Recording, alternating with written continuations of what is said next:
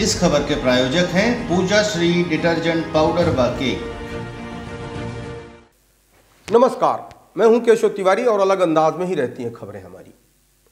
नगर निगम में भ्रष्टाचार रुकने का नाम नहीं ले रहा है। नगर निगम के अंदर 200 कर्मचारी बिना काम का वेतन ले रहे थे। इस बात को सार्वजनिक तौर से नगर के महापौर ने उजागर किया। इस बात के लिए नगर निगम ने एक जाँच कमेटी बनाई। कमेटी ने जाँच किया और अपनी रिपोर्ट नगर निगम को सौंप दी। इसके बाद नगर निगम ने आनंद फानन में यह प्रचारित किया कि इक्कीस कर्मचारियों को निकाल दिया गया है।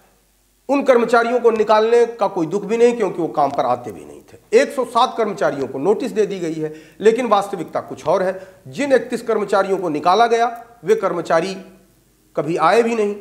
लेकिन जिन 107 कर्मचारियों को नोटिस देने की बात कही गई, सच्चाई यह है कि इन कर्मचारियों को अभी तक किसी भी तरीके की कोई नोटिस नहीं दी गई। पता चला है कि इस पूरे मामले को स्वास्थ्य अधिकारी विजय मिश्रा लीप पोत कर बराबर कर देना चाहते हैं।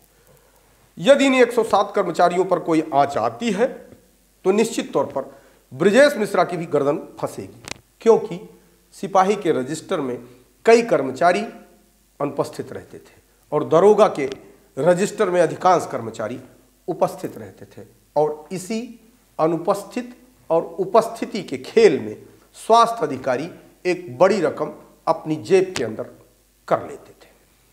इन्हीं 107 कर्मचारियों की खेल की वास्तविकता हम कल आपको बताएँगे।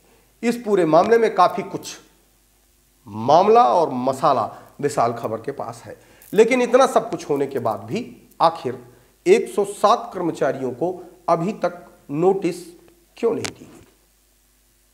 इन कर्मचारियों को बचाने में आखिर कौन व्यक्ति मास्टरमाइंड है? इन कर्मचारियों को आखिरकार बचाकर किसे क्या मिलेगा? एक तरफ़ नगर निगम गौरव दिवस मनाने की तैयारी में है। वहीं दूसरी तरफ़ भ्रष्टाचारियों को संरक्षण देकर के क्या यह बताने की कोशिश की जा रही है कि सतना के नगर निगम का वास्तविक गौरव यही है कि सतना नगर निगम भ्रष्टाचारियों का बहुत बड़ा संरक्षक है। आपको हमारी खबरें कैसी लगती हैं, आप कमेंट बॉक्स में आके कमेंट कर सकते हैं लाइक कर सकते हैं शेयर कर सकते हैं। और यदि आपको हमारी खबरें अच्छी लगती हैं तो विशाल खबर चैनल को सब्सक्राइब करना ना भूलें।